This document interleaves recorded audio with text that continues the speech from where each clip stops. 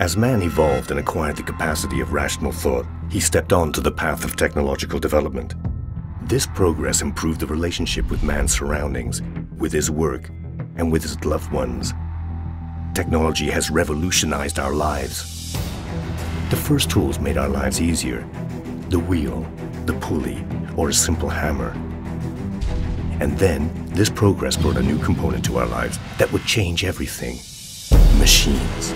These machines used electrical energy to replace human sweat, reducing time and effort. They allowed us to develop industry.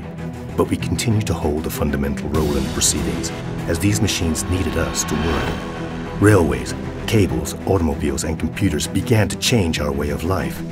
Distances were cut, and the whole world became more accessible. Even space was brought closer to us. Today, these automatons have transcended human control through the use of simple algorithms.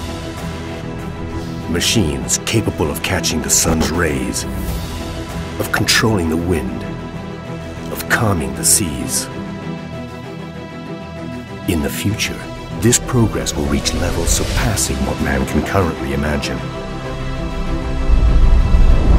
In the future, the robots, with their ever-present screens and advanced language, Arrived at your destination. will change the way we see the world and how we relate to it. And that's where we're going, my darling, to the future. To the future, father? Is that possible? Yes, darling, but only today. Are you ready?